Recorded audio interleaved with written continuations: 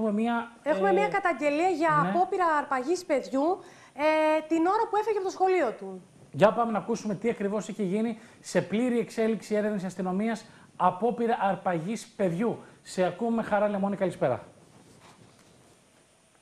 Λοιπόν, ε, Φίλιππες, στην τοπική κοινωνία του Ηρακλείου έχει προκαλέσει νέα καταγγελία ενός ανήλικου παιδιού ότι άγνωστος άνδρας το μεσημέρι της Παρασκευής το πλησίασε και του ζήτησε να τον ακολουθήσει την ώρα που αναχωρούσε από το σχολείο του.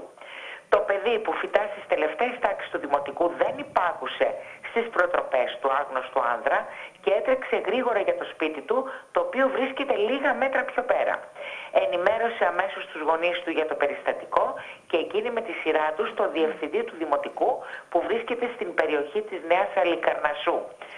Το πρωί του Σαββάτου, γονείς και διευθυντής του σχολείου μετέβησαν στο αστυνομικό μέγαρο Ηρακλείου, ενημέρωσαν την αστυνομία για το απίστευτο αυτό περιστατικό.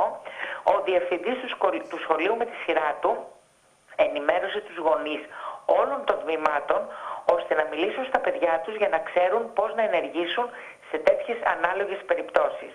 Οι αστυνομικοί της Υποδιεύθυνσης Ασφάλειας Ηρακλείου ερευνούν με πολύ προσοχή την καταγγελία και αναζητούν στοιχεία που θα τους οδηγήσουν στην ταυτότητα του δράστη. Φίλιππε. Μάλιστα, Χαρά Λεμονή. Ε, περιμένουμε να δούμε ποιες θα είναι οι έρευνες της ελληνικής αστυνομίας, γιατί πραγματικά, πραγματικά δημιουργεί ανατριχίλα. Θυμόμαστε τι είχε γίνει με το κοριτσάκι που απαγορεύεται πλέον να λέμε το όνομά του σύμφωνα με δικαστική απόφαση. Θυμόμαστε με το κοριτσάκι το οποίο είχε απαχθεί, είχε βιαστεί, είχε κακοποιηθεί και μετά βρέθηκε στους δρόμους της Θεσσαλονίκης ε, να κυκλοφορεί.